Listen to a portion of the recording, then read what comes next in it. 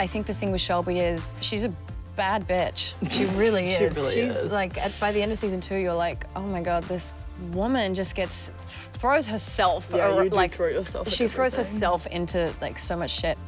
I feel like Shelby is a phoenix that's rising from the ashes but doesn't know how to use her wings yet. She can't fly free yet because she doesn't know how to do it. She's just constantly blossoming and then burning and blossoming and oh, burning.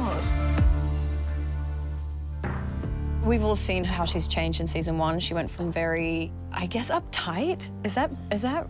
I mean, we didn't see it first season, but when we rewatched it last night, I was like, oh yeah. She's quite highly strung. Yeah. Yeah, she's you know closeted. She's ashamed, and you see her sort of free herself from those shackles and experience as part of herself